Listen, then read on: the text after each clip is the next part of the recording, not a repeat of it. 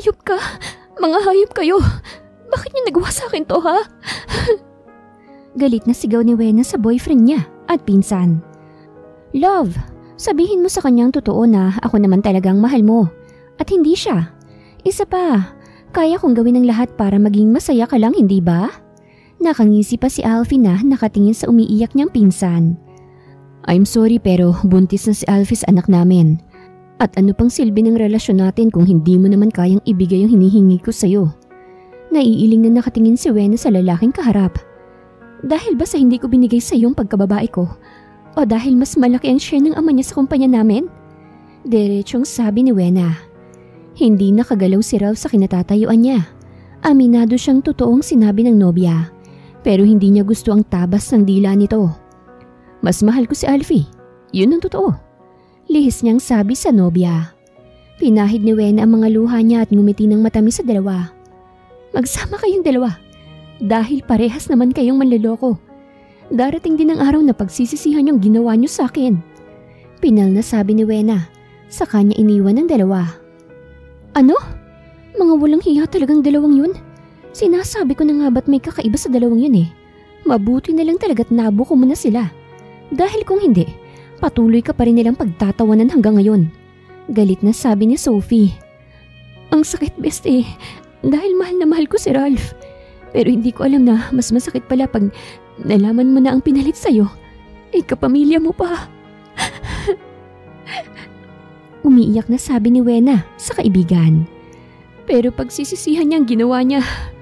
Kung nagawa niya akong lokohin dahil hindi ko maibigay sa kanyang virginity ko, pues ipapakita ko sa kanya na kaya kong ibigay sa ibang lalaki ang matagal na niyang gusto. Agad nanlaki ang mata ni Sophie dahil sa narinig. Hoy, hinay-hinay ka lang sa pag-inom. Baka malasing ka. Ay naku naman, hindi pa naman kita kayang buhatin. Sita ni Sophie sa kaibigan. At para hindi ito masyadong malasing, ay sinabayan na ito ni Sophie sa pag-inom. Baka kasi malasing ito at totohanin pa nitong sinabi niya. Umuwi na tayo, sige na. Lasing ka na eh. Pagagalitan ka na naman yan kapag nalaman nilang uminom ka. Hindi ako uuwi, Sophie. Siguradong magagalit na naman si Lola pag nakitang nakainom ako. Pigil ni Wena kay Sophie. Okay, sa hotel na lang tayo tutuloy. Lumabas na ng barang magkaibigan. Mabuti na lang at hindi pa masyadong lasing si Sophie, kaya nagawa pa niyang mag-drive. Mga walang hiya sila. Mamatay na sana silang dalawa para magsama-sama na sila sa impyerno. Umiiyak pero galit na sabi ni Wena. Kalimutan mo na sila para hindi na sumakit yung dibdib mo. Paya ni Sophie sa kaibigan niya. Ang sakit-sakit kasi Sophie. hindi ko matanggap na niloloko nila ako. Umiiyak na sabi ni Wena. Pagdating nila sa hotel ay isang kwarto lang ang kinuha ni Sophie para sa kanila ng kaibigan niya. O sige na matulog ka na, maaga ka pang uuwi bukas. Humiga na si Sophie sa kama katabi ni Wena. Nang maalalang ginawa ng nobyo at pinsan, ay bumangon mula sa kama si Wena at lumabas ang kwarto nila nang hindi na mamalaya ni Sophie dahil tulog na tulog na ito. Nasa loob na siya, nakainom na rin siya ng gamot at hindi magtatagal ay epekto na yun sa kanya. Huwag ka sanang pumalpak, hindi pwedeng hindi tayo magtatagumpay ngayon. Dinig ni Wena ang sabi ng dalawang tao na nasa hindi kalayuan sa kinaroroonan niya at kilala niya kung sino ang babaeng kasama ng lalaki. Nang marinig ni Wen ang number ng kwarto, ay mabilis na pinuntahan niya ito at wala sa sariling pumasok siya sa loob. Madilim ang paligid pero alam niyang may tao sa loob. Sino ka? Anong ginagawa mo rito? Ang baritonong boses ng lalaki ang bumungad kay Wena. Pagpasok niya, hindi niya makita ang mukha nito dahil madilim sa loob ng kwarto. Uh, sir, may narinig po kasi. Hindi na naituloy ni Wen ang sasabihin pa sana niya nang hapitin siya ng lalaki at kaagad na siniil ng halik. Sir, sandali. Reklamo niya pero malakas ang lalaki at hindi siya makagalaw sa higpit ng yakap nito sa kanya. Sinong nag-utos sa'yo na pumasok dito? Ha? Galit na ani ng lalaki. Dala ng kalasingan niya ay hindi na napigilan ni Wena ang pagsiklab ng init ng kanyang katawan at nalasing na siya sa kakaibang halik ng lalaki hanggang sa nawala na ang kontrol niya at Tuluyan nang naibigay sa lalaki ang pinakaiingat-ingatan niyang puri na inilalaan sana niya kay Ralph. Matapos ang nangyari sa kanila ay nakatulog kaagad ang lalaki habang si Wena naman ay mabilis na lumabas ng kwarto. Kahit masakit pang nasa bandang hita niya ay sinikap niyang makaalis sa kwartong yun. Hoy, saan ka galing ha? Ba't ganyan ang ayos mo? Tarantang tanong ni Sophie sa kaibigan niya nang makita itong nagpaika-ikang pumasok sa kwarto nila. Tumahimik ka nga muna. Masakit itong nasa gitna ko eh. Patulugin mo kaya muna ako. Gusto kong matulog. Bukas mo na ako bulyawan. Pakiusap ni Wen sa kaibigan. Humiga siya sa kama at nagpatangay na sa antok. Habang si Sophie naman ay naaawang nakatingin sa kaibigan niya. Alam niya kung gaano kasakit ang nararamdaman nito ngayon pero ang ibigay ang kanyang pinakaiingat-ingatan sa lalaking hindi niya kilala ay mahinang napamura si Sophie sa kanyang isipan. Iba ka talaga kung mag-isip, siraulo ka talaga. Ipapahamak mo ng sarili mo dahil lang sa siraulong yon. Mahinang ani ni Sophie sa natutulog na kaibigan. Kinabukasan ay umuwi na si Wena sa bahay nila.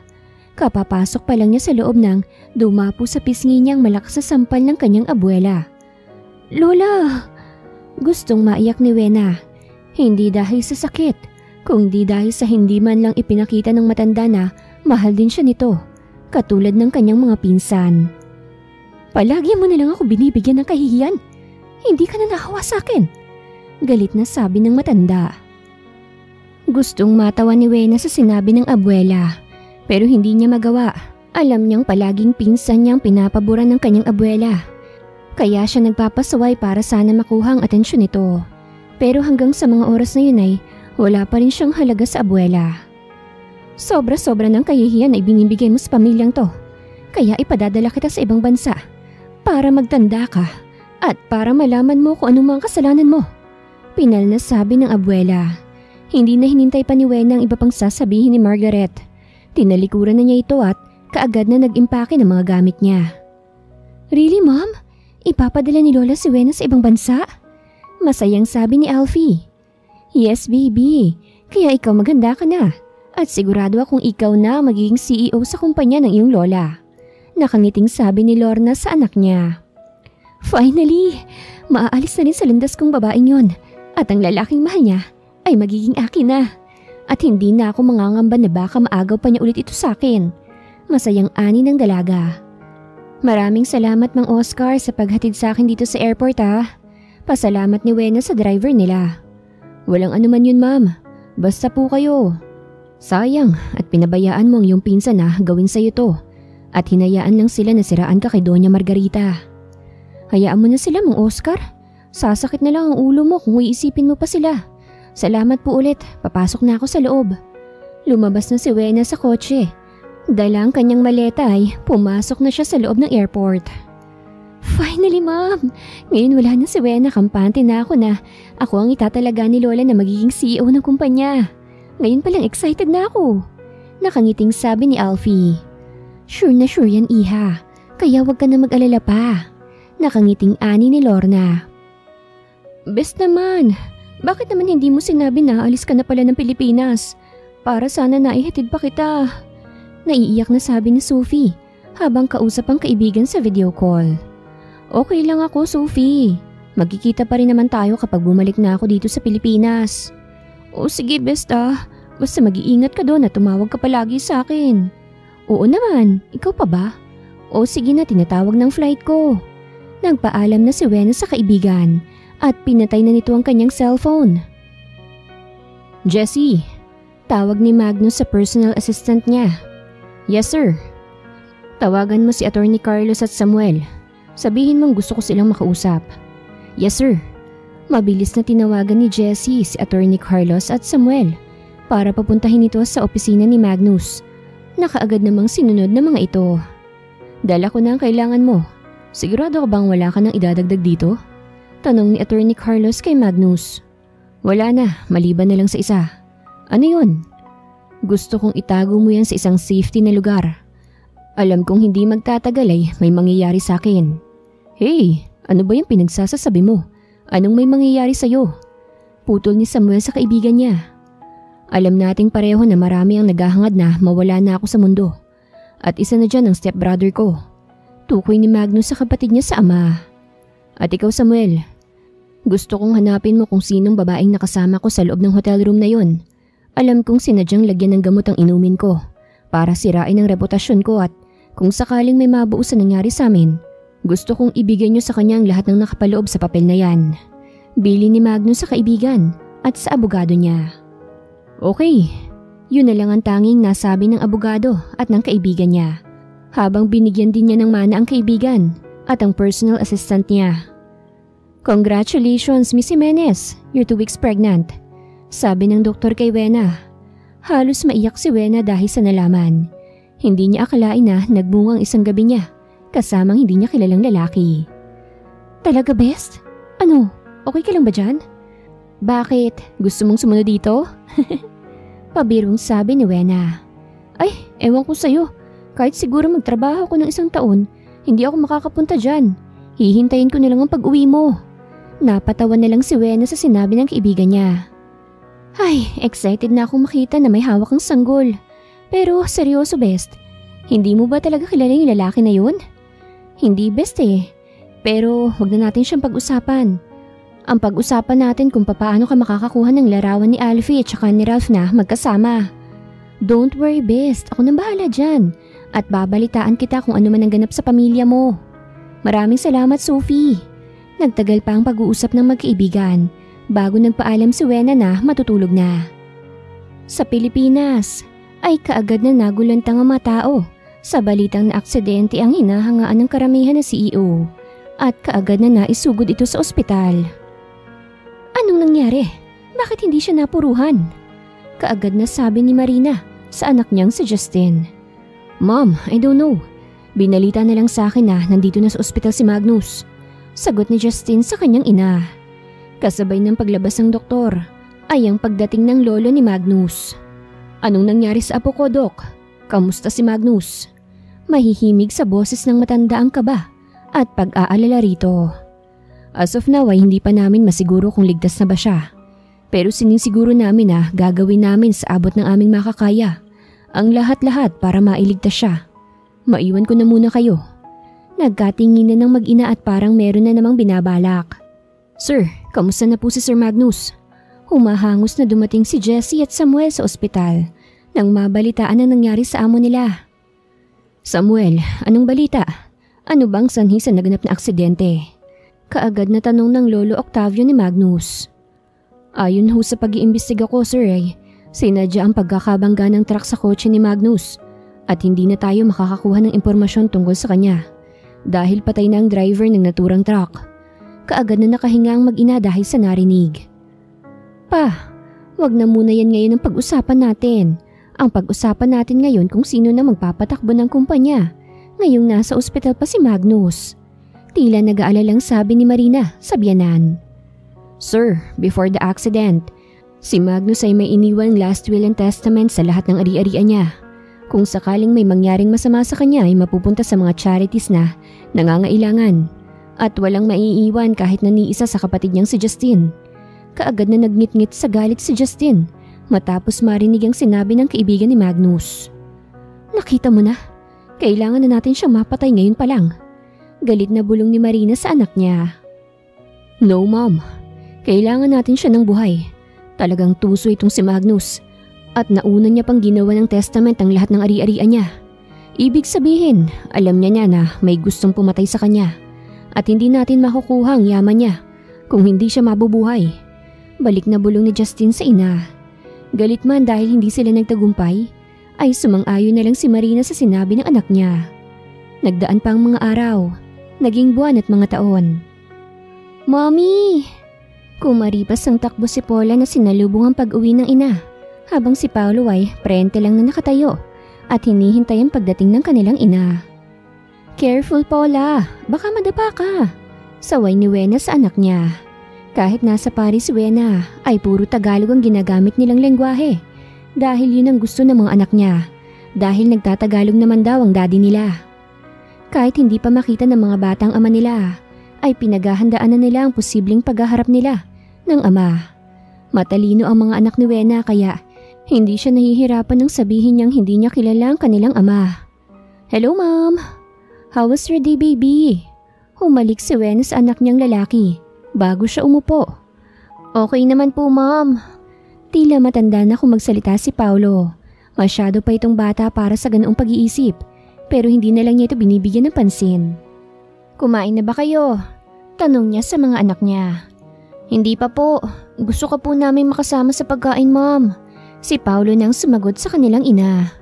O talaga? Wow, ang sweet talaga ng mga babies ko. Pahag nga si mami? Sabay na yumakap ang magkapatid sa kanilang ina at pinugpog nila ito ng halik sa mukha. Panay naman ang tawa ni Wena sa ginawa ng mga anak niya. Samantalang sa Pilipinas, ayokong uminom niyan. Namamanhid na tong dila ko sa kakainom ng gamot na yan. Batid sa boses ni Magnus ang iritasyon dahil pinipilit siya ng kanyang nurse para uminom ng gamot niya. Sir, para po ito sa inyong kabutihan. Kung patuloy po kayong hindi iinom, siguradong hindi na po kayo gagaling. Sagot din ng nurse kay Magnus. I told you na ayaw kong uminom diyan, di ba? Dumagundong sa apat na sulok ng silid ang galit na boses ni Magnus. Okay sir, I'm sorry po. Nanginginig sa takot ang nurse dahil sa boses ni Magnus at para na siyang kakainin nito ng buhay.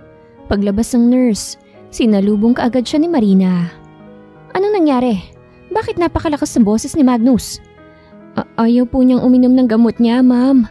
At sinigawan niya ho ako. Sumbong ng nurse kay Marina. Napahilot naman sa sariling noo ang ginang. Pangilang beses na yan? Apat na beses na po siyang hindi umiinom ng gamot niya. Takot na ani ng nurse sa ginang. Ano? Apat na beses pero hindi mo sinasabi sa akin? Ang laki ng binabayad ko sa'yo tapos tatanga-tanga kang hampas lupa ka. Galit na sabi ni Marina sa nurse na itinalaga niya para mag-alaga kay Magnus. Mula nang magkamalay si Magnus ay wala na itong maalala. Kaya kinuha niya ito ng nurse para siyang mag-alaga rito at para magawa na rin nila ang kanilang mga plano. Hindi lang kasi pagpatay ang gusto nila sa binata. Gusto rin nilang lahat ng pagmamayari nito ay sa kanila mapunta. Kuya naman, bakit hindi ka na naman uminom ng gamot mo? Sabi ng nurse, pang-apat na beses ka nang hindi umiinom ng gamot mo eh. Ayaw mo ba na madali kang gumaling? Pinalungkot pa ni Justin ang mukha niya at boses niya para kapanipaniwalang concern siya rito. Okay lang ako, pwede ka nang lumabas. Kahit may amnesia si Magnus, ay hindi pa rin nawawala ang pagkaarogante niya. Kaya minsan ay napipikon si Justin dito. Pero hindi niya ito pwedeng saktan dahil alam niyang mabubulilyaso ang plano nila pag ginawa niya yon. Okay, pero pag may kailangan ka, tawagan mo lang ako ah. Nasa sayo naman ang cellphone mo, di ba? Tumangulang si Magnus sa kapatid. Saka ito nagpaalam na aalis na muna. Mom, anong gagawin natin ngayon? Hindi pwedeng bumalik ang alaala ni Magnus na hindi pa natin nakukuha ang mga ari-arian niya. Nababahalang ani ni Justin sa ina. Huwag ka mag-alala anak. Gagawin ko ang lahat para hindi na mabalik ang dating Magnus. Kung kinakailangan kong ako na mismo magpapainom sa kanya ng gamot, ay gagawin ko. Masiguro lang natin na hindi na siya babalik pa sa dati. Nakangising sabi ni Marina. Sa kwarto ni Magnus ay nagtataka siya kung bakit alam ng madrasa at kapatid niya kung sinong tinatawagan niya. At dahil nasa wheelchair pa, ay naisipan niyang dalhin ng cellphone sa labas habang magpapahangin wala doon ang madrasa at kapatid niya kapag ganoong oras na. Kaya pinindot na niya ang remote control na kumonekta sa labas para pumasok na ang nurse niya. Ah, sir? Humahangos ang nurse na pumasok sa loob ng kwarto ni Magnus. Dalhin mo ako sa labas, dun sa may garden. Mabilis na pumunta sa likod ni Magnus ang nurse at itinulok ang wheelchair niya palabas ng kwarto. Pagdating niya sa may garden ay nagpaiwan na siya ron sa kanyang nurse at lumingali nga sa paligid kung meron bang nakatingin sa kanya. Ramdam niya kasi na may nakatingin sa kanya. Mabilis niyang inihulog ang cellphone sa kinaroroonan niya at umalis na mula roon. Nang makaalis na si Magnus ay mabilis na kinuha ni Samuel ang cellphone na alam niyang sinadya yung ihulog ni Magnus at may kalakip pa itong sulat. Sinasabi ko na nga ba't may kababalaghan na ginagawang mag-inang yun? Mahinang sabi ni Samuel nang makita ang loob ng cellphone. Nag-vibrate ang cellphone na nasa loob ng pants ni Magnus at alam niyang si Samuel ang tumatawag sa kanya. Anong balita? Seryosong tanong ni Magnus sa kausap. Kumpirmado, may connection sa kanilang cellphone mo. Anong plano mo ngayon? Tsaka kung pag nalaman nilang nagpapanggap ka lang na may amnesia, ay tutuluyan ka na nila. Nag-aalalang sabi ni Samuel sa kaibigan. Kailangan natin ng matibay na ebidensya laban sa kanila. Kamusta si Lolo? Anong balita sa kanya? May nagbabantay din kasi sa lolo ni Magnus sa US kung saan nando doon ito at pinadala ng mag-ina. Okay na siya. May mga tauhan na akong pinababantay doon ng palihim. Pati ang nurse na binayaran nila, nabayaran ko na rin ng mas malaki at pinagbabantaan na may masamang mangyayari sa pamilya niya kapag hindi siya sumunod sa akin. Paliwanag ni Samuel. Salamat. Binabanan ni Magnus ang tawag at sinikap na makatayo siya mula sa kanyang wheelchair. Papunta sa kama. Mula nang magising si Magnus sa ospital, ay nagpanggap na siya na may amnesia para mahuli kung sino may pakana para maaksidente siya. At hindi nga siya nagkamali. Ang kailangan na lang niya ay matibay na ebidensya laban sa dalawa. Sigurado ka na ba talaga dyan sa desisyon mo? Tanong ni Wena sa kaibigan niya at boss niya. Oo, doon na lang muna ako magpo-focus sa Pilipinas. Ikaw, wala ka bang balak na umuwi na ng Pilipinas? Balik na tanong ni Clay kay Wena. Eh hindi ko alam kung kailan ako makakauwi ng Pilipinas. Sa ngayon ay nagfo-focus na muna ako rito sa trabaho ko. Ikaw ang bahala. Basta kung may kailangan ka, tawagan mo lang ako. Maraming salamat Clay. Malaki ang naitulong mo sa akin at hindi ko alam kung paano kita mababayaran. Madamdaming sabi ni Wena sa kaibigan. Sapat ng kabutihan at katapatan mo sa akin. Wala na akong ibang hihilingin pa sa'yo. Nakangiting ani ni Clay. Mula nang doon na tumira si Wena sa ibang bansa, ang naging kaibigan lang niya ay si Clay na siyang boss din niya. Bilang isang designer sa kanilang kumpanya, kaya malaki ang utang na loob niya sa lalaki. Ano tong nababalitaan ko ha? Alfie, may relasyon kayo ni Ralph? Lola, magpapaliwanag ho ako. Ngayon lang po kami may relasyon la. At saka matagal na po silang hiwalay ni Wena. At dahil palagi kami magkasama sa trabaho ay hindi na namin namalayan na nahulog na palang loob namin sa isa't isa. Paliwanag ni Alfie sa lola niya. Pero mukhang hindi kumbinsido ang matanda sa sinabi ng apo niya. Siguraduhin mo lang na totoo yung pinagsasasabi mo Alfie. Dahil kung hindi, sinisiguro ko sa iyong may paglalagyan ka sa akin. Banta ng matanda sa apo niya. Mom, nagsasabi ng totoo ang apo mo. Hindi marunong magsinungaling si Alfie sa'yo. Kampi ni Lorna sa anak niya. Ano na naman bang kaguluhan to? Kaagad na tanong ni Gabriel. Pagkapasok sa loob ay mag-inat-ina niya kaagad ang naabutan niya na para bang nagbabangayan. Pagsabihan mo yung anak mo, Gabriel. Kilala mo ko pag ako ang nagalit.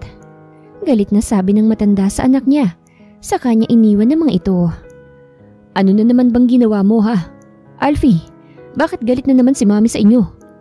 Dad, nagalit kasi si Luli nang nalaman niya na may relasyon kami ni Ralph. Sumbong ng anak sa ama niya. Napabuntong hininga si Gabriel dahil sa sinabi ng anak niya. Kahit sino naman ay magagalit sa ginawa mo. Sino ba kasing matinong babae na pumapataw sa nobyo ng pinsan niya? Hindi napigilan pa ni Gabriel ang magsalita. Gabriel, ano ba yung pinagsasasabi mo? Ha? Anak mo yung kausap mo. Saway ni Lorna sa asawa niya. At kaya nagkakaganyan yung anak mo dahil palagi mo siyang kinukonsinti. Kaya kahit boyfriend ng pinsan niya, ginapang na niya. Galit din na sabi ni Gabriel sa kanya iniwan ng mga ito sa sala. Mom! Umiiyak na sabi ni Alfie sa ina. Hayaan mo na. Maiintindihan ka rin ng daddy mo. Intindihin mo muna siya ngayon. Umiiyak na tumango na lang si Alfie sa kanyang ina. Kampi na naman kasi ito sa kanya noon pa man. Ay spoiled na spoiled pa ito sa kanya. O paano, hindi na kita mahahatid pa sa airport ah. Hinging sorry ni Wena sa kaibigan niya. It's okay, naiintindihan kita. Alam kong busy ka sa trabaho mo at isa yan sa hinahangaan ko sa'yo. Nakangiting ani ni Clay. Thank you Clay. Sumakay na sa sasakyan si Clay habang nakatanaw naman si Wena sa papalayong sasakyan ng kaibigan. Sigurado ka ba dyan, Best? Tanong ni Wena sa kaibigan niya. Oo, best. Pumunta siya rito sa bahay at sabi niya, matagal ka na raw walang kontak sa kanya. Namimiss ka na raw niya ng sobra. Namimiss ko na rin siya, bes. Pero kapag naaalala kong ginawa niyang pagkampi sa pinsan ko, hindi ko maiwasan na bumalik ang galit ko sa kanya. Eh, best, matagal na yun eh. Isa pa matanda ng lola mo para magalit ka pa sa kanya. Sabi ni Sophie sa kaibigan. Pag-iisipan ko best ha. Isa pa nag-aaral pa mga bata kaya kailangan ko muna silang patapusin sa taong to bago umuwi dyan kung makapagdesisyon na ako. Uuwi na tayo ng Pilipinas, Mami? Sabay-sabay na sabi ng kambal ng maabutan nilang ina, nakausap ang kaibigan niya. Ah, yes, baby. Gusto niyo ba? Nakangiting sagot ni Wena sa anak. Yehey! Finally, uwi na kami ng Pilipinas. Nagtatatalo na sabi ni Paula. Napangiti na lang si Sophie sa nakita niya talagang hyper na pagkabata si Paula. Habang kakaiba naman ang kambal niya dahil minsan lang itong ngumiti. Nagpaalam na si Sophie sa kaibigan niya habang si Wena naman ay ipinagluto ang mga anak niya. Mabilis lang na lumipas sa mga araw at naging mga buwan. Nakaimpake na lahat ng dadalhin ni Wena sa pag-uwi nila sa Pilipinas. Nakahanda na rin ang bahay na tutuluyan nila. Ayaw niya kasing makisama sa pinsan niya sa mansyon ng kanyang lola. Pasensya ka na kung hindi kita masundo ngayon ah. May problema kasi sa opisina na kailangan kong ayusin. Ano ka ba? Okay lang kami. Papunta na rin naman kami sa bahay. Uy, salamat pala sa bahay na binili mo pa talaga para sa amin ha. Walang anuman. Saka maliit na bagay lang yung bahay na yan. Kumpara dun sa naitulong mo sa akin sa kumpanya. Nakangiting sabi ni Clay. Kahit di siya nakikita ni Wena, ay alam niyang alam nito na nakangiti siya. Yaya, pakidala ng gamit ng mga bata sa kwarto nila. Utos ni Wena sa yaya ng mga anak niya. Opo, Ma'am Wena. Mama, makikita na po ba namin si Daddy dito? Nagniningning ang mga mata ni Paula habang nakatingin sa kanilang ina. Um, baby, magpahinga muna kayo ng kapatid mo sa kwarto, ha? Sa kanya naisipan ng daddy nyo. Alam kong pagod kayo sa biyahe kaya sige na, umakit na kayo sa itaas. Kaagad naman na naunawaan si Wena ng kambal niya. Kaya umakyat na ang mga ito sa kwarto nila. Magkahiwalay ng kwarto si Paulo at Paula dahil ayaw ni Paulo na makasama sa isang kwarto ang isang babae. Kinabukasan, matapos nilang kumain ay nagpaalam na si Wena sa mga anak niya na may pupuntahan muna siya. Kaagad naman na pumayag ang mga anak niya. Pagdating niya sa mansyon ng mga Jimenez, ay napasigaw pang katulong na makita siya nito. Senyorita Wena, ikaw na ba talaga yan? Masayang tanong nito kay Wena. Kamusta Rosa? Kaagad na tanong niya sa katulong nila. Naku, senyorita. Okay lang po ako. Pasok po kayo. Pupuntahan ko lang po si Donya sa kwarto niya. Tumangulang si Wen at inalibot ang paningin sa loob ng sala. Saka napabuntong hininga. Sino ka? Tanong ni Lorna. Dahil nakatalikod si Wen ay hindi niya nakilala ang babae. Nang lumingon si Wen na kay Lorna ay kaagad na napatikom ang bibig niya. Hindi siya makapaniwala sa nakita niya. Hello auntie, how are you po? Matamis pang ngumiti si Wena sa ginang. Pero sinamaan lang siya nito ng tingin. Anong ginagawa mo rito? Hindi ba't nasa ibang bansa ka? Yes auntie pero ngayon ay umuwi na ako. Asaka, bakit ka ba nagagalit? Eh may karapatan din naman ako sa bahay na to. Habang ikaw, di ba sampid ka lang naman dito? Pangiinsulto rin ni Wena sa ginang. Nanlisik ang mga mata ni Lorna na nakatingin sa dalaga. Pero nginitian lang siya nito. Walang hiya ka? Akmang sasampalin sana ni Lorna si Wena nang may magsalita sa likod nila. Subukan mo lang na ilapat yung kamay mo sa apo ko. Sisiguraduhin kong hindi ka na makatatapak pang muli dito sa pamamahay ko. Galit na ani ng matanda. Kaagad na naibaba ni Lorna ang kamay niya dahil sa sinabi ng matanda. Habang si Wena ay lihim na napangiti dahil sa narinigat sa reaksyon ng tiyahin niya. Lola! Baling ni Wena sa lola niya. Niyakap niya ng mahigpit ang kanyang lola dahil kahit galit siya rito, ay hindi pa rin nawawala ang pagmamahal niya rito. Ito na kasi ang nagpalaki sa kanya. Kamusta ka na? Mas lalo ka pa yatang gumanda ngayon ah. Manang-mahana ka talaga sa iyong namayapang ina. Nakangiting ani ng matanda kay Wena. Maraming salamat po la. Kamusta na po kayo rito? Malambing na ani ni Wena sa lola niya. Naku apo, magiging okay na ako dahil nandito ka na. Ikaw, kamusta ka na? Kamusta ka dun sa abroad? Hindi ka ba nahirapan doon? Umiling si Wena at ngumiti sa kanyang abuela. May trabaho naman po ako doon la. Nakangiti pa rin sabi ni Wena. Halika apo, doon tayo sa loob ng silid ko mag-usap. Sabi ng matanda nang mahagip ng mata niya ang masamang tingin ni Lorna sa apo niya. Nauna nang umalis ang matanda habang si Wena ay lumingon muna kay Lorna at nginisihan ito. Pati ang pinsan na kararating lang ay nagulat nang makita siya pero nginisihan niya lang mga ito bago sumunod sa lola niya sa kwarto nito. Kamusta ka na sa abroad po? Parehong nakaupo sa kamang dalawa. Okay lang ako la. At alam mo po ba na may apo ka na? Nakangiting ani ni Wena sa lola niya. Sandaling hindi nakakibo ang matanda dahil sa narinig niya. Ngumiti ng matamis ang matanda sa apo niya. Gusto pa sana niyang magtanong kung papaano at kung sino ang ama ay hindi na lang niya ginawa. Hahayaan na lang niya ang apo mismo magsabi kung sinong ama ng mga anak nito. Dito ka na magtanghalian apo. Magpapaluto ako ng masarap na tanghalian at ipapaluto ko mga paborito mong pagkain. Walang nagawa si Wena kung hindi ang pagbigyan ng lola niya.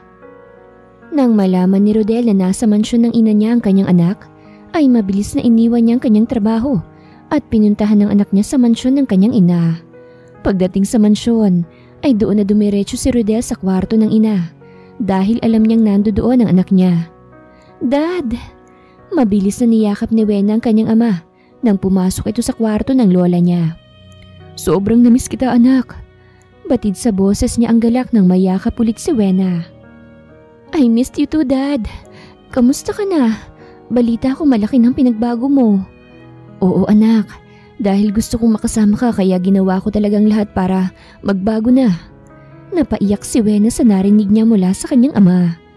Matapos makasama sa pagkain ng ama't lola niya, ay nagpaalam ng umuwi ni Wena. Alam mo bang nandito na sa Pilipinas ang babaeng pinapahanap mo? Five years ago? Sabi ni Samuel sa kaibigan habang kasama ito sa sasakyan niya. Are you sure? Yes. Ibinigay ni Samuel ang dala niyang envelope kay Magnus at halos hindi na kumura pang mata niya habang nakatitig sa mga batang nasa larawan. Sobrang kamukha mo yung lalaki kaya malaki ang posibilidad na anak mong dalawang yan. Pukaw ni Samuel sa atensyon ng kaibigan. Gusto kong masigurong kaligtasan nila at kung maaari, wala mo nang makakaalam tungkol sa kanila. Bili ni Magnus sa kaibigan niya. Hindi mo na ba sila ipapa-DNA test? Baka mamaya. I'm pretty sure that the twins are mine. Seryosong sabi ni Magnus. Copy boss. Nakangiting ani ni Samuel. Matapos mag-usap ay umalis din kaagad si Samuel sa kotse ni Magnus. Baka may makakita pa sa kanya, mahirap na. Baka magduda pa ang mga ito na wala naman talaga siyang amnesia. Kuya, nagkagulo ang mga board ngayon. Gusto nilang makasiguro na hindi nga babagsak ang kumpanya. Ngayong may amnesia ka, Anong gagawin natin? Gusto na nilang palitan ka bilang CEO. Tila nag-aalalang sabi ni Justin. Lihim naman na napakuyam ang kamao ni Magnus habang nakikinig sa kapatid niya. Alam niyang sinusulan ng kapatid ang mga board at kapag hindi pa siya kikilos ay siguradong mawawala at babagsak ang kumpanyang pinaghirapan niyang itayo. Kumpleto na ba ito lahat? Lahat ng gusto mong malaman ay kumpleto na. Pati ang mga ebidensya na kailangan mo Nandito na lahat. Kinuha ni Magnus ang brown envelope at tiningnan ang laman nun. Napakuyom ang kamao niya nang malaman na malaki na palang nailabas ng kapatid niya na pera sa kumpanya. Kung hindi pa niya ito pinaimbestigahan ay hindi pa niya malalaman na mga anomalyang ginagawa nito. Dumiretso na sa isang restaurant si Magnus matapos nilang mag-usap ni Samuel para doon na kumain. Tulak siya ng kanyang driver papasok sa restaurant Kaagad naman na dinala sila ng waiter sa isang pribadong mesa. Dalawa lang ang upuan doon na pang VIP lang talaga. Kaagad nag-order sila ng pagkain. At habang naghihintay sa order nila, ay inilibot muna ni Magnus ang paningin niya.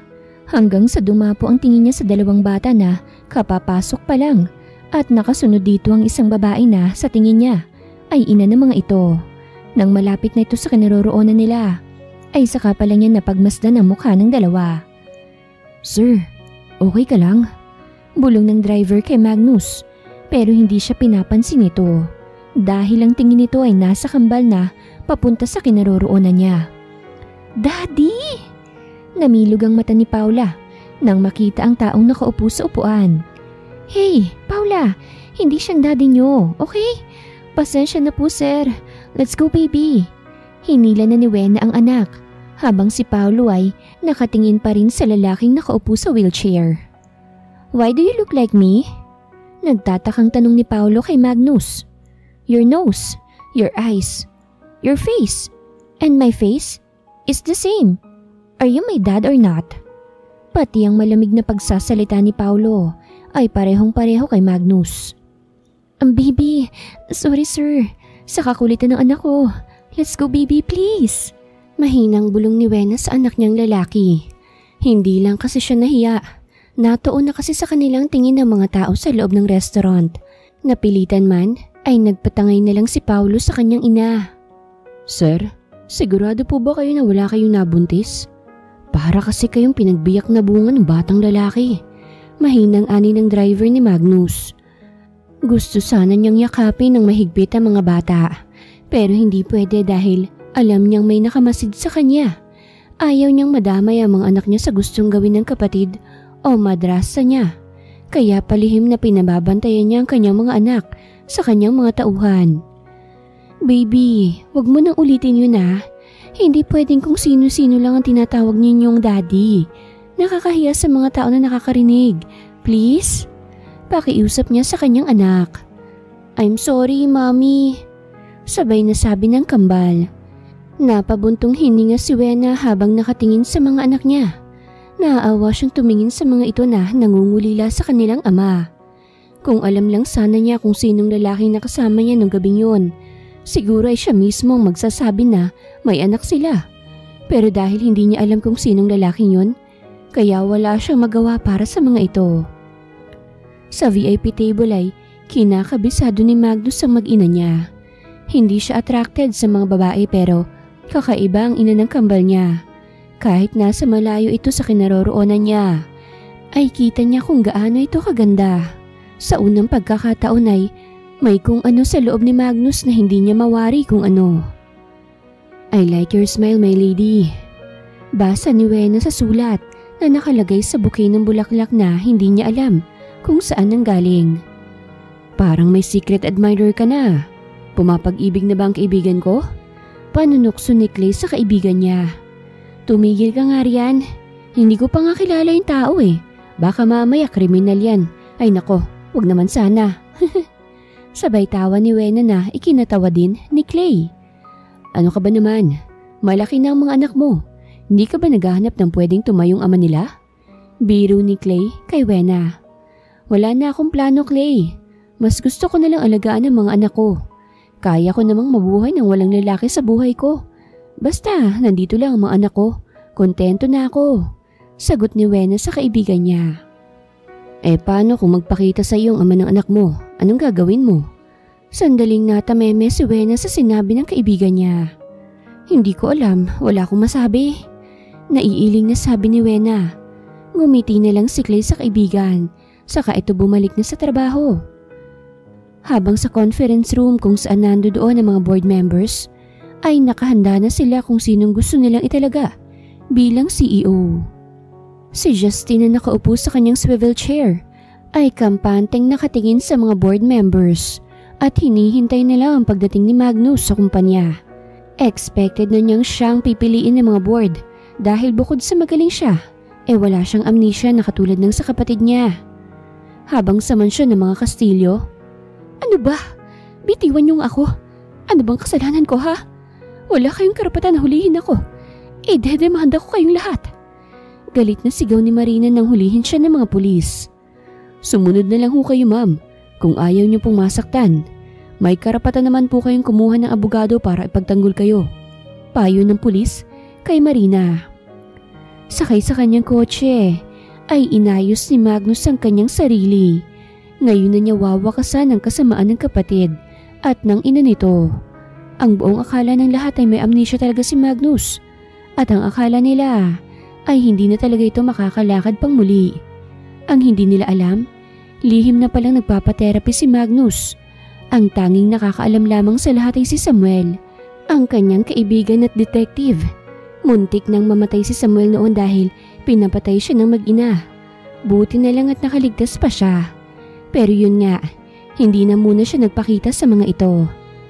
Pagdating ni Magnus sa conference room, ay nando doon na ang lahat. Oh, I'm sorry kung nahuli ako ng dating. Tulak ng kanyang driver si Magnus. Kanina pa sila naghihintay kuya. Bakit bang tagal mo? May bahid ng inis na sabi ni Justin sa kapatid. Mag-umpisa na tayo. Nakaupo na sa upuan niya si Magnus at tahimik lang na nakikinig habang nagsasalita ang isa sa mga board. And now, who's in favor? To Mr. Justin Ferreira. Sabi ng board na nakatayo. Nagsitaasa ng kamay ang mga board at meron lamang apat ang natira. Kung sino yung maliit lang ang share sa kumpanya, ay siya pang nagtaas ng kamay. Tahimik lamang si Justine pero banaag sa mukha niya ang sobrang saya sa resulta. And who's in favor to Mr. Magnus Ferreira? Nagtaas ng kamay ang mga natirang apat, pabor kay Magnus. Tiningnan ni Magnus sa mga nagsitaasan. Ang mga taong pumabor sa kanya ay siyang may malalaking share sa kumpanya niya. Thank you everyone for choosing me as the new CEO of this company. Don't worry, hindi niyo pagsisisihan kung bakit niyo ako binoto. Lalo ko pang pagbubutihin ang pagpapatakbo ng kumpanya para sabay tayo nga angat. Proud na sabi ni Justin. Kuya, wala ka man lang bang sasabihin? Nakangiting sabi ni Justin sa kapatid niya. Tumayo si Magnus mula sa wheelchair niya. Kaya natuon sa kanyang tingin ng lahat. Hindi makapaniwala ang lahat. Kahit si Justin ay nagulat sa nakita. Kuya, nakakatayo ka na? Utal na tanong ni Justin sa kuya niya. Bigla rin siyang pinagpawisan lalo pa ng Matalim na tingin ang ipinukol ni Magnus sa kanya. What do you think? Malulumpa na ako sa ginawa niyong aksidente para mamatay ako? Mabigat ang bawat salita na binitiwan ni Magnus sa kapatid niya. Akala niyo ba hindi ko malalaman ang mga plano niyo ng mga board members na bumoto sa iyo para maging CEO? Ramdam ni Justin sa boses ni Magnus ang galit. Kukuya, anong pinagsasabi mo? Anong plano? Anong tungkol sa aksidente? May bahid na kabang tanong ni Justin sa kuya niya pero hindi siya nito pinansin.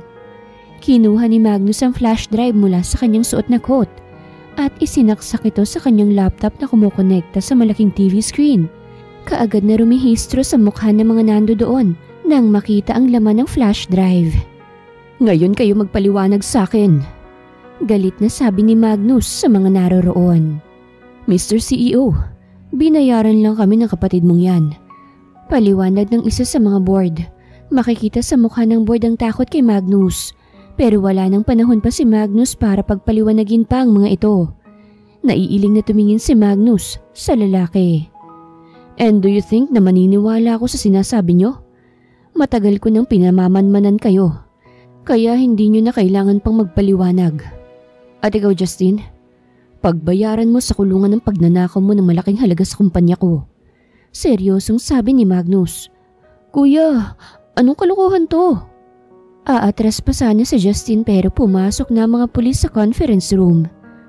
Justin Ferreira, inaaresto ko namin sa salang pagtangkang pagpatay kay Mr. Magnus Ferreira at may karapatan kang kumuha ng abogado para ipagtanggol ang sarili mo. Pinusasa na si Justin ng mga pulis at inilabas na sa conference room.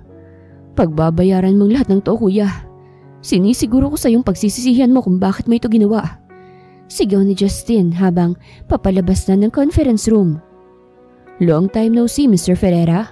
Akala ko ba totoong may amnesia ka? Nakangiting sabi ng Vice President ng kumpanya.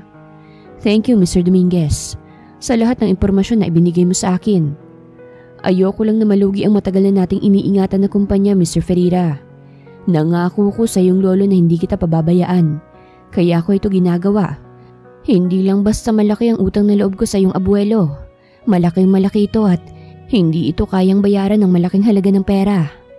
Thank you again, Mr. Dominguez. Matapos madakip si Justin ay ang sunod na plano naman ni Magnus ay ang makilala siya ng kambal niya. Kahit tinatawag na siyang daddy ng mga ito, iba pa rin pag nalaman nila na siya pala ang ama ng mga ito. Yaya? Tawag ni Wena sa yaya ng kambal niya. Yes, Ma'am Wena. Yeah, bakit tahimik yata ang mga bata ngayon? Himala at hindi nila bukang bibigyan kanilang ama. Takang tanong ni Wena sa yaya ng kambal. Ah eh, hindi ko rin alam mami. Kakamot-kamot na sabi ng yaya ng dalawa. Asan ba sila ya? Nasa kanilang playroom sila ma'am. Ikukuha ko nga po sila ng snacks nila eh. Okay ya, salamat ha. Pupuntahan ko na lang sila. Um, pwedeng igawa mo na rin ako ya? Okay ma'am, wala pong problema. Pinuntahan na ni Wena ang mga anak niya sa playroom ng mga ito. Alam niyang nagdodrawing na naman si Paula. Pagkapasok niya sa loob ng playroom ng mga ito ay itinago kaagad ni Paula ang hawak niyang papel na may guhit ng isang tao.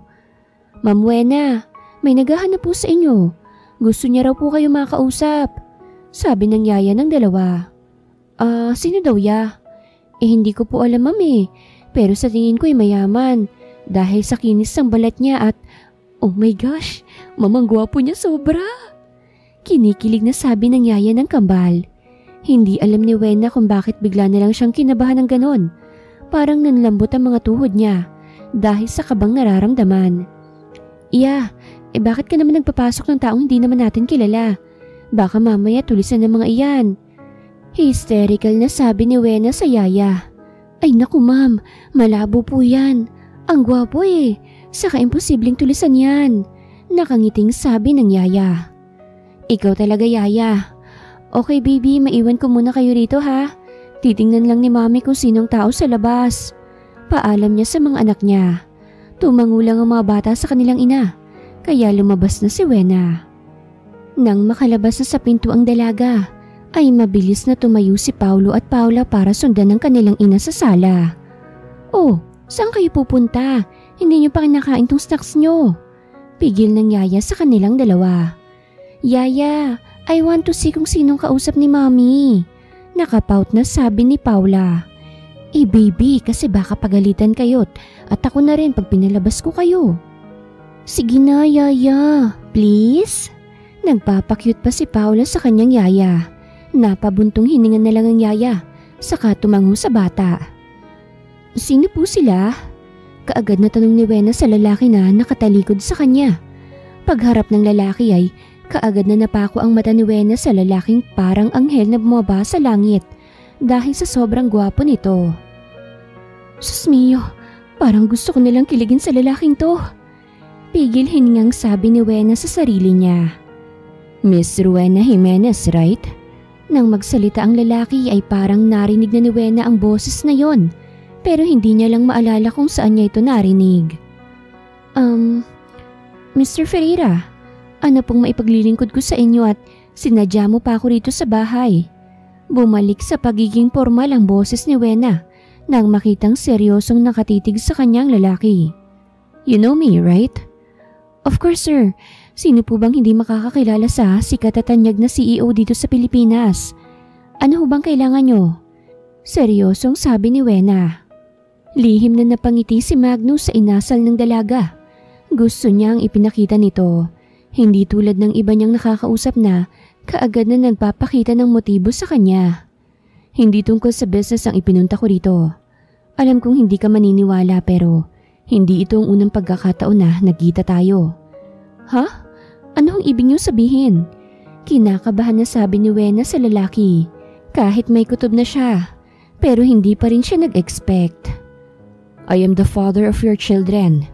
Seryosong sabi ng lalaki. Parang binuhusan ng malamig na tubig si Wena nang marinig niyang sinabi nito. I am serious, Miss Jimenez. Kaagad na sabi ni Magnus nang makitang reaksyon ng dalaga. Hindi makapaniwalang nakatingin si Wena sa lalaki kung bakit alam nito ang iniisip niya. Uh, I'm so sorry Mr. Ferreira pero hindi ako naniniwala sa sinasabi mo. Sino ba ako para maanak ng isang sikat na CEO sa buong bansa? Totoong hindi ko kilala ang ama ng mga anak ko. Pero hindi ko sinabing ang kinin mo ang anak ko. At wala akong matatandaan na nilapitan kita para ang kinin sila na sayo. Naiinis na sabi ni Wena sa lalaki. Mas lalong nagustuhan ni Magnus ang pagtataray ng babae sa kanya. If I have a proof na anak ko nga ang kambal, payag ka bang magpakasal sa akin bukas na bukas rin? Seryosong sabi ni Magnus. Are you out of your mind? Bakit naman ako magpapakasal sa'yo? Hindi na napigilan pa ni Wena ang magtaray sa kausap. Hindi niya alam pero bigla na lang siyang naiinis dito. Sa tingin niya kasi naglalaro lang ito. Daddy! Sabay na sabi ng dalawang bata. Kaagad ng laki ang mga mata ni Wena nang sa ikalawang pagkakataon ay tinawag ng anak niya na daddy ang lalaking kaharap. Hello kids! Ibinuka ni Magnus ang mga kamay niya kaya kaagad na yumakap sa kanya ang mga anak niya. Ikaw po talagang daddy namin? Nagniningning ang mga mata ni Paula na nagtanong sa kanyang ama. Yes baby, ako ang daddy nyo. And what's your name again? Paula po, siya naman po si Kuya Paulo. Masayang sabi ni Paula. I told you, you're my dad because your face is the same as mine. Nagyayabang na sabi ni Paulo na out of place na si Wena dahil nakatuon na sa kanilang ama ang atensyon ng mga anak niya. Nang mahagip ng mata niya ang isang envelope sa mesa, ay kinuha niya ito at tiningnan ng laman noon. Walang kurap na nakatingin si Wena sa laman ng brown envelope dahil isa yung DNA test. Pa paano ka nakakuha ng sample sa DNA test ng mga anak ko? Nagtatakang tanong ni Wena sa lalaki. I have my own ways para patunayan na anak ko nga sila. Ngayong alam ko ng totoo, gusto kong punuan ng mga araw na hindi nila ako nakasama. Seryosong sabi ni Magnus. Hindi alam ni Wena kung anong totoong nararamdaman niya. Pero sa loob ng puso niya ay may kung anong saya siyang nararamdaman. Masaya siya para sa mga anak niya. At masaya siyang hindi pala kriminal ang lalaking nakatalik niya. Alas 8 na ng gabi nang umuwi si Magnus. Tulog na rin kasi ang mga anak niya. Inihatid muna ni Wena ang lalaki sa labas ng bahay. Salamat sa sayang ibinigay mo sa mga anak ko ah. Ngayon ko lang sila nakitang ganun kasaya. Ngayon lang na nakasama kanila. Pasalamat ni Wena sa lalaki. Mga anak ko sila, Miss Jimenez. Kaya obligasyon kong pasayahin sila. At ibigay sa kanila ang pangangailangan nila. Tipid na ngumiti si Wena sa binata. Saka itutuluyan na sumakay sa kotse niya. Ano best? Sure ka ba dyan? Iyong sikat at gwapong CEO pa lang ama ng mga anak mo? Napatakip na lang si Wena sa tenga niya nang tumili ng malakas. Si Sophie. Huwag ka namang sumigaw. Nabibingi ako sa lakas ng boses mo eh. Reklamo ni Wena sa kaibigan. Eh sino ba naman kasing hindi kikiligin? Kung ang kasing sikat at kasing gwapo ni Mr. Ferreira ang nakabuntis sa'yo ha? Nakahawak pa si Sophie sa pisngi niya. Sabay pagulong-gulong sa kama niya. At tinawanan naman kaagad siya ng kaibigan niyang si Wena. Kung makareact ka dyan parang ikaw yung nabuntis ah. Natatawa pa rin sabi ni Wena sa kaibigan. Kaya napasimangot si Sophie. Eto naman, kinikilig lang naman ako para sa'yo. Nakasimangot na sabi nito. Pero seryoso best, nung una mo siya nakita, anong naramdaman mo? Curious na tanong ni Sophie. Kaba, kinakabahan lang ako at para akong hinihigop sa pamamagitan ng titig niya sa akin. Hindi ko siya masabayan. Nahihiyang sabi ni Wena. Uy, may in love na yan. Tili ulit ni Sophie. Naiiling na nakangiti na lang si Wena sa ginawa ng kaibigan. Kinabukasan ay maagang pinaliguan ni Wena ang mga anak niya dahil ipakikilala na niya ang kanyang kambal sa kanyang ama't lola. Ngayon lang siya nagkaroon ng pagkakataon na maipakita ang mga ito dahil busy siya sa trabaho niya. Palagi naman silang magkausap sa video call pero gusto talaga ng lola niya na makita ito sa personal. Habang sa kulungan ay kausap ni Justin ang isa sa mga tauhan niya.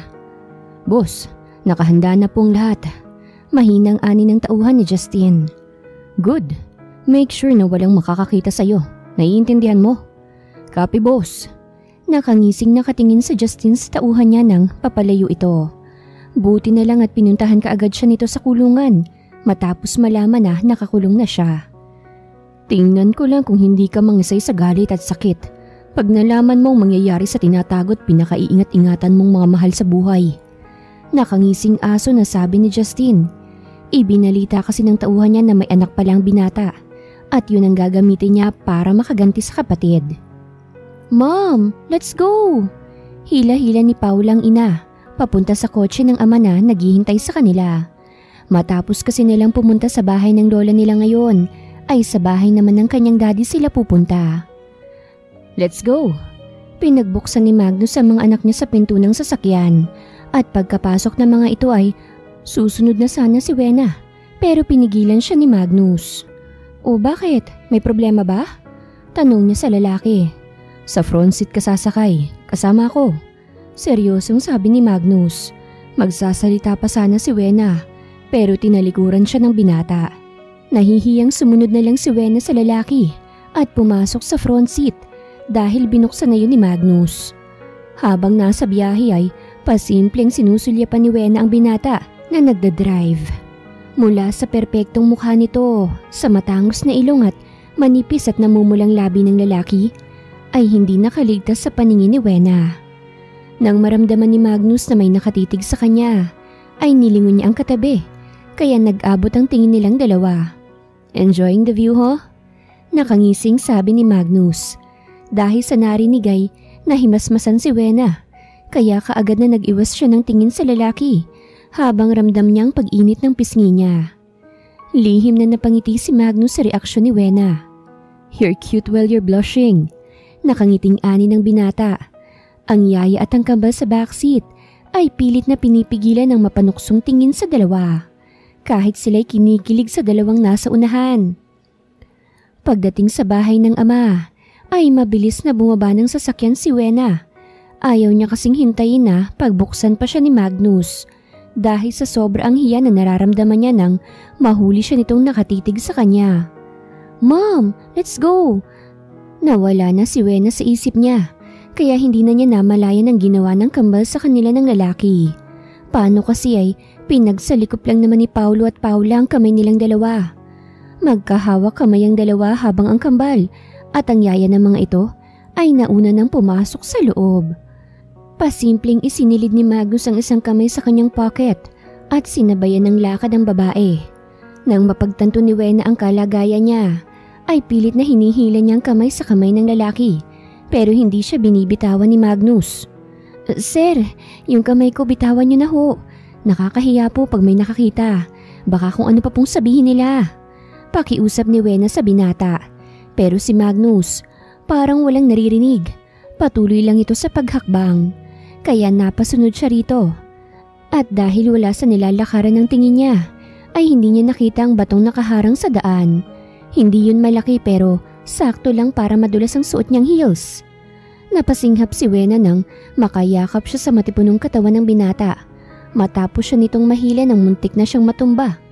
Nanunuot sa ilong niya ang mabangong amoy ng lalaki. Mahina niyang itinulak ang katawan ng binata at nahihiya siyang tumingin dito. Ay sorry sir, hindi kasi ako nakatingin sa nilalakaran ko. Nahihiya niyang sabi sa binata. It's okay. Pilit na sinupil ni Magnus ang ngiti sa labi niya. Baka mas lalong mailang ang babae sa kanya.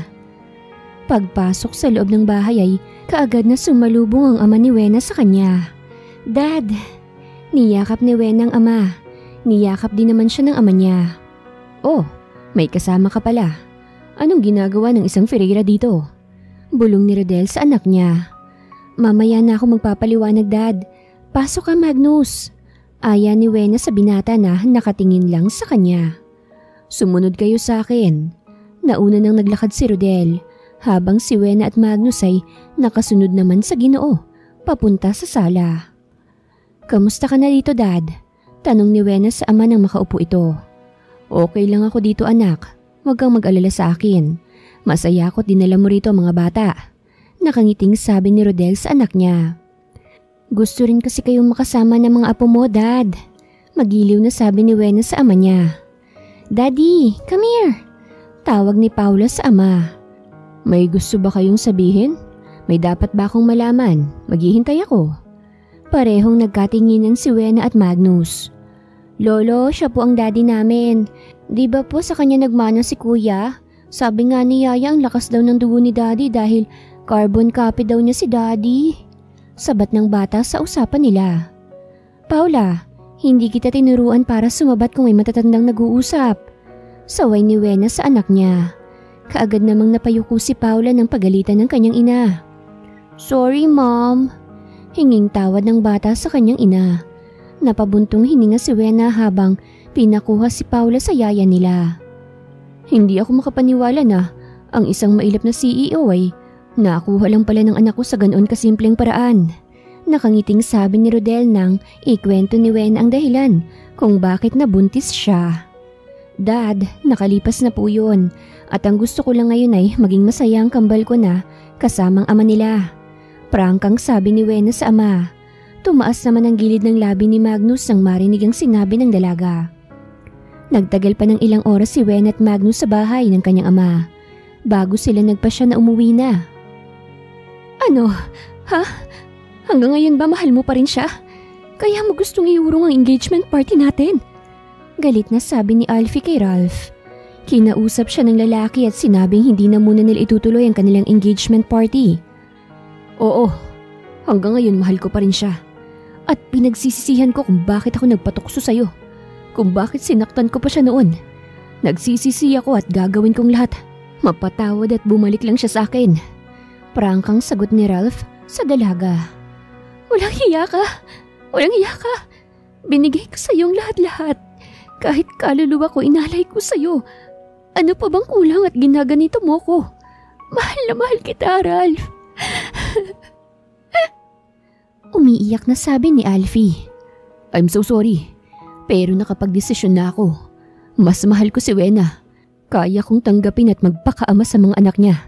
Basta bumalik lang siya sa akin. Pinal na sabi ni Ralph. Sa kanya iniwan si Alfie. Pinagbabato ni Alfie ang mga gamit na madadampot niya sa bahay ni Ralph. Kasalanan mo tong lahat, Rowena. At hindi ko hahayaan na maging masaya kayo ni Ralph. Dahil akin lang siya. Akin lang si Ralph. Umiiyak na sabi ni Alfie. Daddy, pwede bang dito ka na muna matulog? Gusto ka naming makasama matulog. Please? Nagpapakyut pa si Paula sa kanyang ama. Naiiling na lang si Wena sa inaasal ng anak niya. Okay, maikling sagot ni Magnus. Agad namang napatalon sa sofa si Paula sa sobrang saya. Paula! Napataas ang boses ni Wena dahil sa ginawa ng anak. Hey, don't shout at her. Sita ni Magnus dahil pati siya ay nagulat sa pagtaas ng boses ni Wena. Uh, I'm sorry. Nahihiyang hingi ng tawad ni Wena sa binata. Sorry din, nabigla lang ako. Hingi din ng sorry ni Magnus. Baby, don't do that again, okay? Baka kung mapano ka pa kapag ginawa mo ulit yon. Mahinahon na sabi ni Magnus sa anak niya. Tahimik na tumango si Paula sa ama, saka ito nagpakarga dito. Si Magnus na ang nagpatulog sa dalawang anak niya. Alam na alam na nito kung papaano mag-alaga ng bata at mas nakikinig pa ang dalawa sa kanilang ama kesa sa kanya. Nahanda ko na ang kwarto na matutulugan mo, sabi ni Wena kay Magnus nang makabalik ito sa sala. Thank you, ang malamig na boses nito ay para siyang hinuhukay sa kailaliman dahil sa lamig nitong magsalita. Araw-araw na may nagbabantay sa inyo ng mga bata. Lalo ka na. Ngayong nakita na kita. Sigurado kong marami na naman ang gustong pabagsakin ako. At alam na nila na kayo ang kahinaan ko. Ito ang dahilan kung bakit ayaw kong magmahal. Dahil ayokong madamay ang mga mahal ko sa buhay sa kung ano man ang plano nila sa akin. Seryosong sabi ni Magnus. Sumang-ayon si Wena sa sinabi ng lalaki. Kahit siya'y ayaw niya ng magulong buhay. Gusto niya yung tahimik at yun ang gusto niya para sa mga anak niya. Kinabukasan, matapos kumain ni Magnus ay nagring ang phone niya at si Samuel ang tumatawag. May problema ba? Kaagad na bungad niya sa kaibigan. Nakatakas sa kulungan ng kapatid mo at sigurado akong naghahanap na siya ngayon ng paraan para mapabagsak ka. Paalala ni Samuel sa kaibigan niya. Kumuha ka ng maraming tauhan na magbabantay sa mga anak ko at siguraduhin mong walang mangyayaring masama sa kanila. Saglit na nagpaalam si Magnus sa mga anak at saglit na kinausap si Wena. Huwag kayong aalis dito sa bahay. May mga tauhan ako na magbabantay sa inyo ngayon. Matalino ang kapatid ko. At alam kong alam na niya ngayon ang tungkol sa inyo. Pag-alis ni Magnus ay siya ring dating ng isa pang sasakyan. Ma'am, bilin po ni Mr. Ferreira na sunduin kayo ng mga bata para ilipat ng tirahan para ho maging safe kayo. Sabi pa ng sa tingin ni Wena ay isang bodyguard. Ah, uh, di ba kaalis lang niya? At wala naman siyang sinabi na ililipat kami. Ang sabi lang niya huwag kaming umalis ng bahay. Pangangatwiran ni Wena sa lalaki. Pero yun ho ang sabi niya, nasunduin kayo. Dahil sa kakulitan ng lalaki ay napauo na rin siya. Sakay sila sa isang van at may guard silang kasama. Driver, malayo pa ba tayo? Parang hindi nasakop ng Maynila itong pupuntahan natin ah. Nag-aalalang sabi ni Wena. Relax ka lang ma'am. Makakarating din tayo sa destinasyon natin. Sabi ng lalaki. Pilit na pinakakalma ni Wena ang sarili kahit kinakabahan na siya. Dahil kapag nagpanik siya ay alam niyang magsisiiyak din ang mga anak niya. Sorry sir, wala kaming nagawa para bantayan sila. Marami po kasi sila sir at may dala silang nagtataas ang mga baril. Paliwanag ng bodyguard na itinalaga ni Magnus sa mag-ina niya. Pagsapit ng hapon ay inasahan na ni Magnus na may tatawag sa kanya. What do you want? Malamig na bungad niya sa lalaki na nasa kabilang linya. Ikaw. Ikaw lang naman ang kailangan ko. Kailangan dumating ka sa lugar na sasabihin ko sa iyo bukas ng umaga. At wag na wag kang magkakamaling magdala ng pulis. Tandaan mo, hindi lang ikaw ang may mata sa labas, maging ako rin. At dalhin mo mga papel na kakailanganin ko. Bye kuya. Pinatay na ni Justin ang tawag habang ang mga pulis naman ay nilocate na ang lugar kung saan din nila si Lowena at ang kambal. Bingo! Sabi ng isang pulis. Nasa labas sila ng Maynila.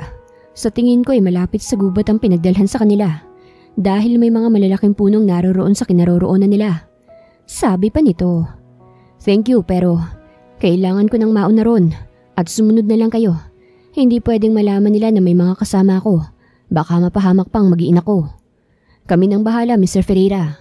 Sakay sa kanyang kotse ay mag-isang pinuntahan ni Magnus ang lugar kung nasa saan ang mag-ina niya. Bawat galaw niya ay may pag-iingat. Baka makahalata pa ang mga ito na darating siya.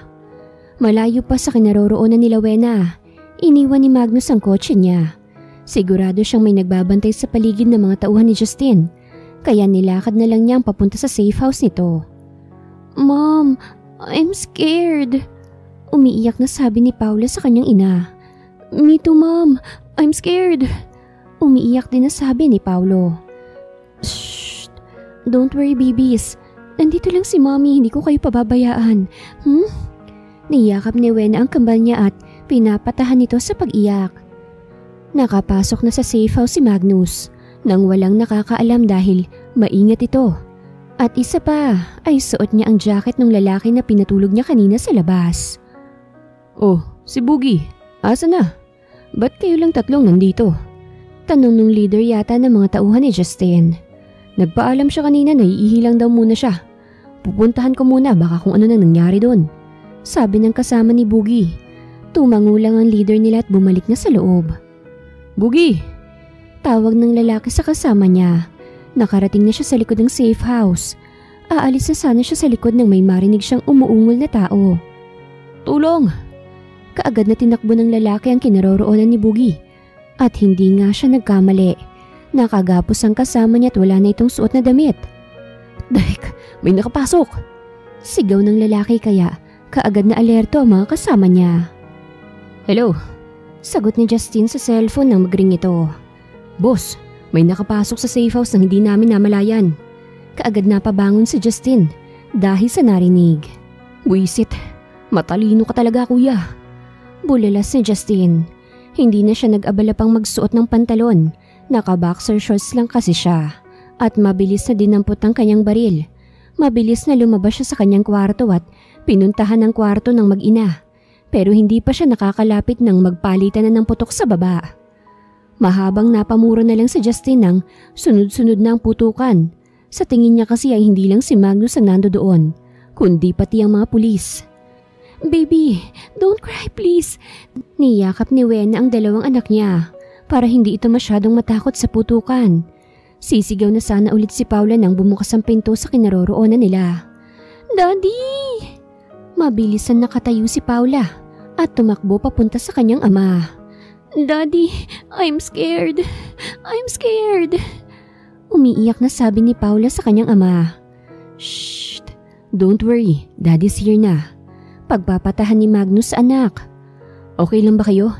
Hindi ba nila kayo nasaktan? Nag-aalalang tanong ni Magnus sa anak niya at kay Wena.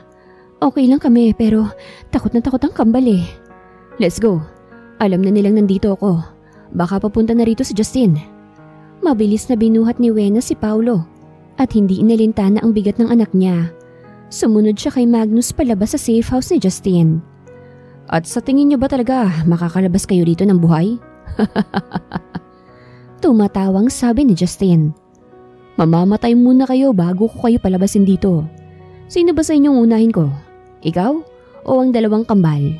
O mas mabuti siguro kung ikaw muna kuya ang mauuna sa inyong apat. Gusto kong ma-enjoy muna ang babaeng iniingat-ingatan mo. Bakit nga ba hindi ko nalaman kaagad na may mga anak ka na? Eh di sana nung nasa ospital ka pa lang, pinatuluyan ko na sila. Pero okay lang naman. Total naman nandito na kayong lahat. Natatawang sabi ni Justin. Ako lang ang kailangan mo, di ba? Kaya wag mo silang idamay rito. Matalim ang tingin na ipinukol ni Magnus sa kapatid niya. Anong ikaw? Lahat kayo. Hindi ako papayag na may maiwan sa mga anak mo. Ayoko nang may kahati kaya lalahatin ko na kayo. Bye! Kasabay sa pagputok ng baril ang unti-unting pagbagsak ni Justin. Pigil ni Wen ang hininga sa pag-aakalang isa sa kanilang tinamaan ng bala. Nasundan pang putok na yon, kasabay sa pagbagsak ni Justin ang pagdating ng mga tauhan ni Magnus. Sorry sir, ngayon lang namin nalaman. Hinging paumanhin ng tauhan ni Magnus sa kanya. Thank you. Pasalamat niya sa kanyang mga tauhan. Akala niya may nangyari ng masama sa kanyang mag-ina. Napatingin siya sa kanyang kapatid na naliligo sa sarili niyang dugo. Ayaw sana niyang umabot sa ganoong sitwasyon ng paghaharap nila. Pero ito na mismong humanap ng katapusan niya. Matapos ang pangyayaring yun ay nagpa siya si Magnus na magbakasyon kasamang mag-ina niya. Daddy! Mommy! Tawag ng kambal sa magulang nila. Yes, baby? Si Wena nang sumagot sa anak niya. Mom, let's go, maligo na tayo. Bilis! Hinila ni Paula si Wena kaya wala na sa sariling napatayo siya. Kasabay noon, ang pagkatanggal ng manipis na tela na nakatakip sa suot niyang swimsuit. Wow, flawless at sexy pare oh. Kung akong asawa niyan, hindi ko yan nahayaang magsuot ng ganyan. Gusto ko, ako lang ang makakakita niyan. Sabi ng isang lalaki, may napasipol pa dahil sa nakitang kaseksihan ni Wena. Hindi lang kasi maganda at makinis si Wena. Taglay din ito ang malamodelong katawan na siyang kinaiinggitan ng karamihan sa kanya. Napasinghap na lang si Wena nang may dumampi na kamay at nagtali sa kanyang bewang. Nang lumingon siya, ay naroroon na si Magnus sa tabi niya na siyang nagtali sa telang nahulog mula sa katawan niya. Thank you, Nahihiyang sabi ni Wena. Ayokong may makakakitang iba sa katawan mo. Ako lang may karapatan na makita yan. Sabay hapit ni Magnus kay Wena at kaagad na siniil ito ng halik. Halik na hindi kayang tanggihan ni Wena dahil nakakapanghina ito ng tuhod niya. You are the mother of my children and you're mine forever. I love you. Bulong ng binata sa dalaga. Wala sa sariling napatango si Wena sa sinabi ni Magnus. Kaya agad na Nakapaskil ang matamis na ngiti sa labi ng binata. Mula noon ay nagsama na sa iisang bahay si Magnus at Wena at naghihintay na lang sila sa araw ng kasal nila. Habang ang pinsan niyang si Alfie ay tuluyan ng nagkahiwalay at si Ralph. Nasa mental na rin ang madrasa ni Magnus. Matapos nitong masiraan dahil sa pagkamatay ng anak niya. Ayon nga sa kasabihan, kung ano ang iyong itinanim, ay siya ring iyong aanihin na nangyari naman sa buhay ng madrasta ni Magnus. Naging masaya ang pagsasama ni Magnus at Wena sa kanyang mansyon. Matapos kasi niyang halika ng dalaga sa beach na pinuntahan nila, ay napaamin at napasagot na rin niya ito. At habang nanliligaw siya, ay ang mga anak naman nila ang naging daan niya para mapaoo ang dalaga. Gagawa ulit tayo ng kambal para may apat na tayong anak. Natatawang sabi ni Magnus sa asawang nakaupo pa lang sa kama Basa pa ang buhok. Gumapang ang kamay ni Magnus sa katawan ng asawa na hinayaan naman ni Wena. Akmang huhubarin na niyang suot ng asawa nang may biglang kumatok. Mommy, Daddy, open the door please. Dito kami matutulog kasama niyo. Sabay na sabi ng kambal. Naisubsob na lang ni Magnus sa mukha sa kama dahil sa pagkabitin. Habang tinatawanan naman siya ng asawa na naglakad na papunta sa pinto. para pagbuksan ng kambal. Sabay na sumampa sa kama ang kambal at pinagitnaan ng kanilang ama habang si Wena ay napangiti na lang sa nakita niya sa kanyang mag-aama. At dasal niya na sana ay malagpasan pa nila ang mga problema at pagsubok sa pagsasama nila. Wakas.